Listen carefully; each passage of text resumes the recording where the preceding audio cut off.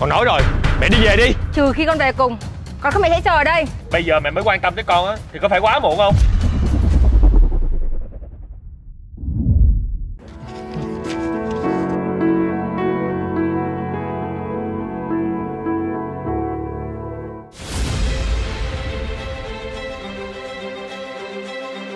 Bây giờ mẹ có cố đứng ở đây á Thì cũng không thay đổi được gì đâu. Những điều con hằng mong ước ngày xưa á Bây giờ nó đã cũ rồi mẹ à Mẹ. Bữa nay là sinh nhật 18 tuổi của con. Mẹ không ở nhà với con được hả mẹ? Mẹ có việc bận thật. Sinh nhật này lần khác nha. Vậy sinh nhật 18 năm qua của con không quan trọng hay sao? Tự dưng nên nổi nóng với mẹ vậy. Con đang cãi mẹ đấy à? Mẹ nghĩ là con càng lớn càng hiểu chuyện nhất thiện.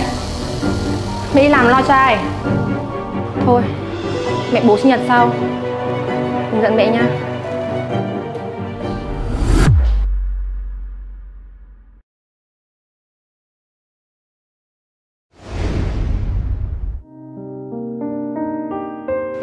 Dạ của chị 25 ngàn. Dạ. Cảm ơn chị.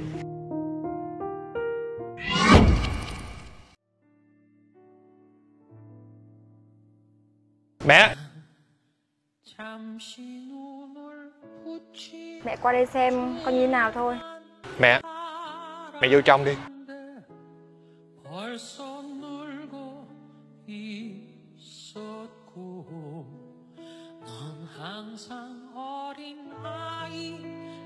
Mẹ uống nước đi.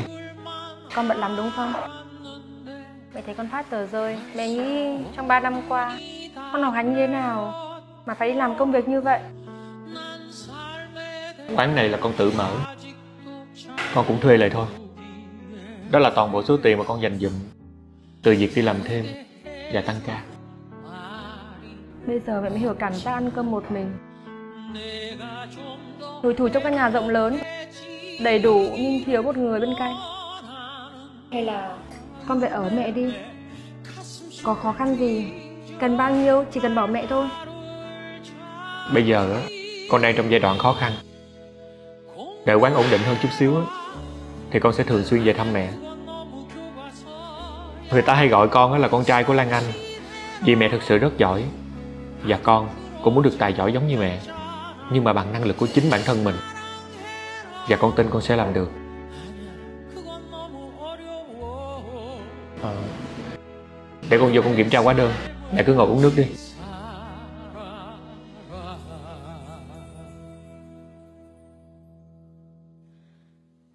한참 세상 살아는 줄만 알았는데 아직 열